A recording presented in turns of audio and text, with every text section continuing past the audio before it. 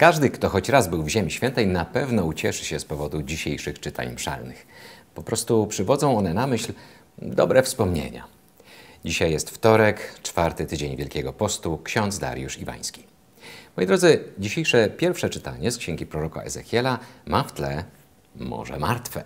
Kto z nas, będących w Izraelu kiedyś, nie był nad Morzem Martwym, jeśli nawet nie w kąpieli w tych cudownych wodach ożywczych, odmładzających i w ogóle, to z pewnością przejeżdżając obok mogliśmy podziwiać ten fenomenalny akwent, jakiś cud natury. Faktycznie coś niewyobrażalnego.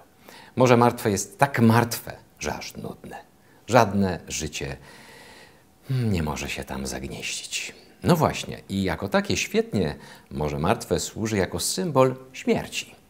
Rzadko się pojawia w Piśmie Świętym, ale jak już się pojawi, no to już konkretnie.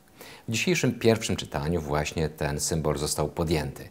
Oto Ezechiel, prorok, znajduje się ze swoimi ziomkami z Jerozolimy i Judei na wygnaniu w Babilonii. Jest wiek szósty przed Chrystusem. No cóż, tragedia narodowa w pełni, zniszczona Jerozolima, zniszczona świątynia, no i sporo uprowadzonych w niewolę hmm, mieszkańców Judy i Jerozolimy. Tam na wygnaniu w Babilonii nie mogą już liczyć na wiele. Sytuacja geopol geopolityczna jest tragiczna. Po ludzku sądząc, według ludzkich kalkulacji, nie ma szans na odwrócenie losu.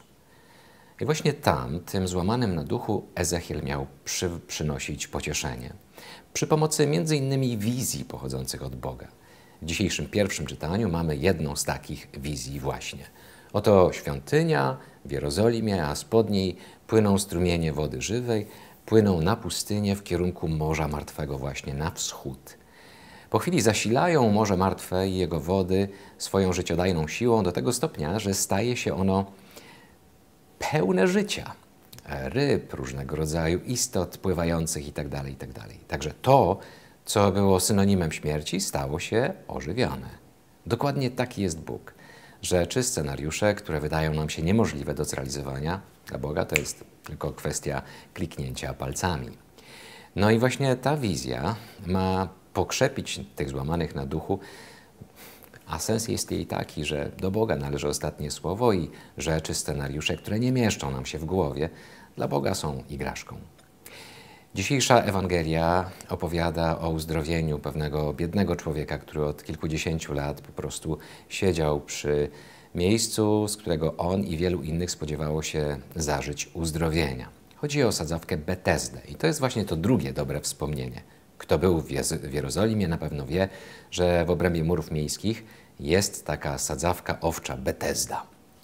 Tuż obok jest przepiękny kościół e, świętej Anny. Betesda to jest taki właściwie takie dwa duże baseny, taka cysterna, w której zbierano wodę deszczową, a potem wykorzystywano ją do różnych celów mm, w kulcie świątynnym. No dobrze, ale teraz ten człowiek, e, z którym Jezus e, komunikuje się. Kilkadziesiąt lat, jak mówiłem, leżał tam bidulek i chyba już się przyzwyczaił, że nic dobrego go nie czeka.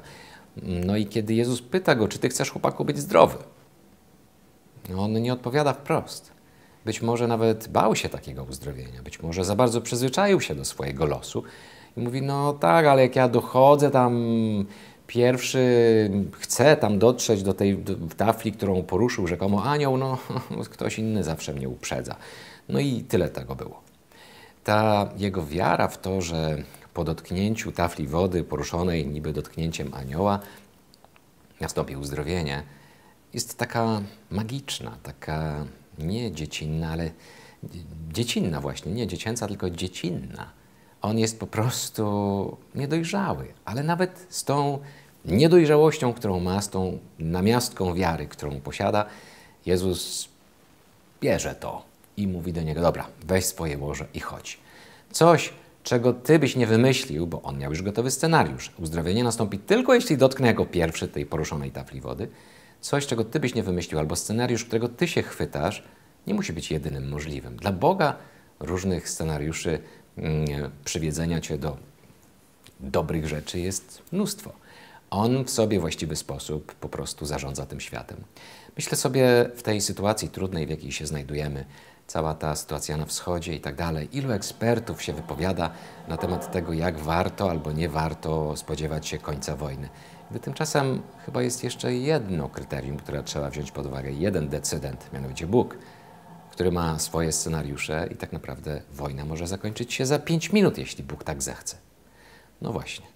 Może są jakieś sytuacje w Twoim życiu, gdzie chwyciłeś się jakiegoś jednego scenariusza, według Ciebie jest on jedyny możliwy do zrealizowania.